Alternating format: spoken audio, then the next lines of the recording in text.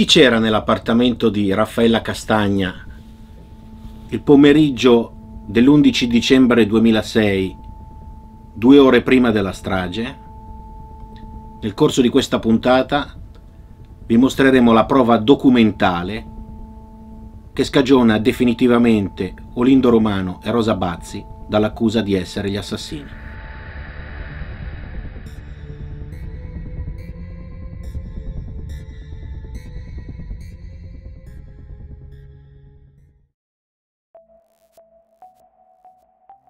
La strage di Erba avvenne l'11 dicembre 2006.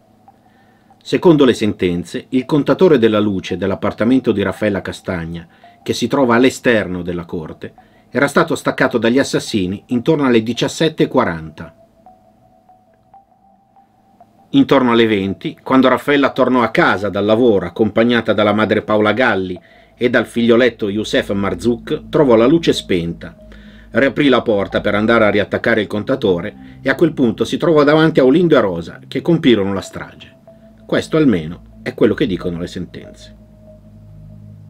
In tutto questo c'è sempre stato un particolare che stonava, ovvero sotto l'appartamento di Raffaella Castagna viveva una coppia di siriani con i figli, Abdel Karim Kalouf e sua moglie Eba Baddura, i quali testimoniarono più volte di aver sentito dei passi provenire dall'appartamento di Raffaella Castagna, due ore prima della strage.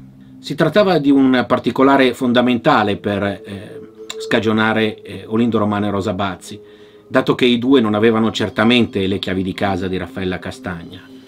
Ma la testimonianza dei siriani non fu considerata attendibile, andava a scontrarsi con la ricostruzione fatta dagli inquirenti secondo cui gli assassini erano Lindo Rosa e avrebbero agito una volta che Raffaella le aveva aperto loro la porta e andava a scontrarsi anche con quanto gli stessi avevano poi confessato. E questa testimonianza dunque fu considerata inattendibile dal processo, almeno fino ad oggi.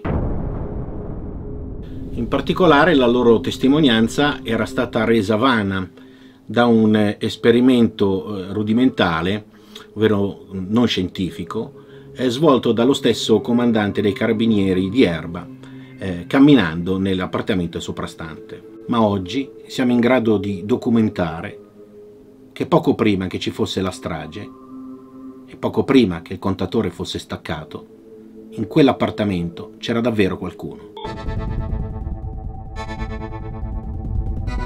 Partiamo dalla giornata di Raffaella Castagna, di quell'11 dicembre. Come testimoniò il padre Carlo in aula, eh, Paola Galli, la mamma di Raffaella, andò a prenderla alle 13.05 per portarla alla stazione e tenere con sé il bambino e riportarlo nella casa di via Trieste insieme al nonno. Questa era una cosa che faceva sempre Paola, diceva eh, il padre Carlo. Dunque, dalle 13.05 1310, quell'appartamento doveva essere vuoto, essendo Azuz in Tunisia.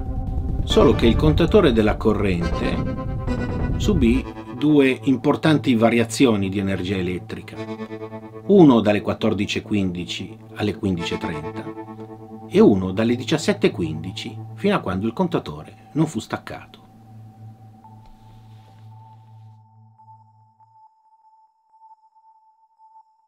Questa discrasia, fatta notare alla difesa dall'inviato delle Iene Antonino Monteleone, ha convinto gli avvocati della coppia a chiedere la consulenza di un ingegnere, l'ingegner Paolo Rabitti, uno dei massimi esperti in Italia, consulente da oltre 30 anni delle procure in delicatissimi casi e delicatissimi processi.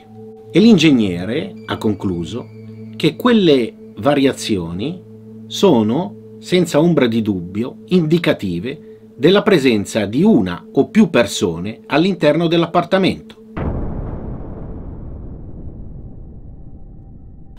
E i numeri eh, non sono testimonianze, non possono essere smentiti.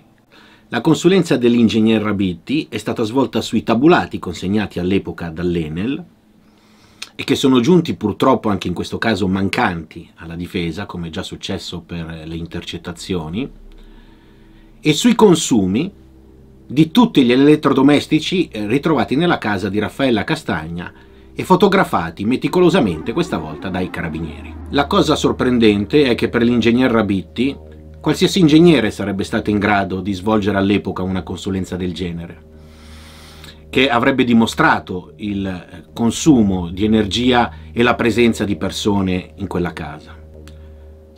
Però questa consulenza non fu fatta, o meglio, ne fu annunciata una nel mese di gennaio del 2007 consulenza che però non è mai arrivata in atti. Quindi gli assassini erano in casa ben prima delle 20 ed entrarono in casa con delle chiavi, perché la porta non fu ritrovata forzata.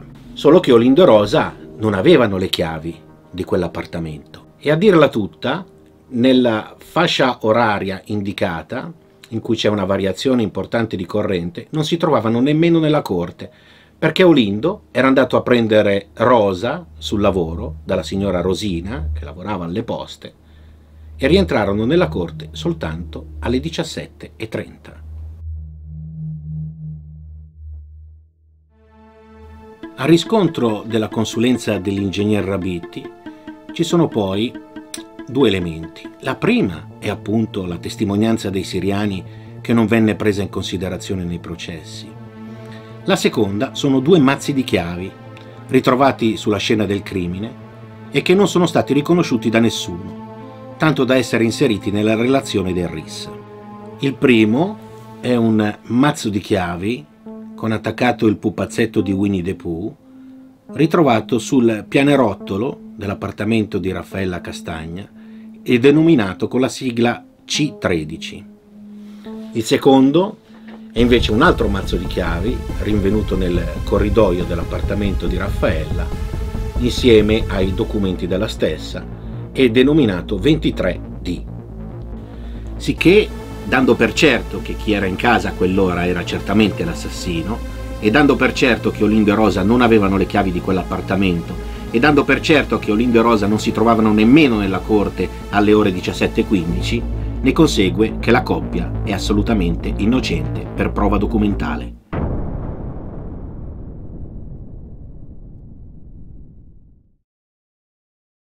Però la consulenza degli ingegner Rabitti, basata sui tabulati Enel disponibili per quella settimana, mette in luce molto altro. Partiamo però da due fatti acclarati. Il primo Secondo la testimonianza dei colleghi di Raffaella, di tutti i colleghi di Raffaella, Raffaella faceva sempre lo stesso turno, dalle 14.30 alle 18.30, dal lunedì al sabato a Villa Cusi di Magreglio. E questo è un fatto accertato. Il secondo fatto accertato è che la settimana precedente la strage lei si recò sempre a Villa Cusi di Magreglio il pomeriggio e questo eh, ce lo dicono i tabulati telefonici, perché la cella che agganciava al suo telefono cellulare quando si trovava a Magreglio era completamente diversa dalla cella che il suo cellulare agganciava quando si trovava ad Erba. E qual è il problema? Che l'ingegner Rabetti si è accorto dai tabulati disponibili che almeno il 4 e il 5 di dicembre, nella casa di Raffaella Castagna, ci furono delle variazioni di corrente importanti e indicative della presenza di una o più persone. E lo stesso avvenne il giorno prima della strage, la domenica, quando però Raffaella si trovava a casa dei parenti di Azuz a Merone e fu riaccompagnata a casa unitamente a Youssef alle 20.30. Quel qualcuno aveva evidentemente le chiavi di casa di Raffaella Castagna, non essendo la porta ritrovata forzata. Quel qualcuno entrò il 4 dicembre, entrò il 5 dicembre e non era Paola Galli, perché come ha ricordato il marito in aula non andava mai a casa di Raffaella quando questa non c'era. E quel qualcuno entrò il pomeriggio della strage dell'11 dicembre con le chiavi di casa e ci furono importanti variazioni di corrente fino a quando il contatore non risultò staccato. Sicché Essendo ovviamente certo che chi si trovava in quell'appartamento, poco prima della strage, poco prima che il contatore fosse staccato, era l'assassino, resta da farsi una sola domanda. Chi erano le persone in quell'appartamento? Chi sono i veri autori della strage di Erba?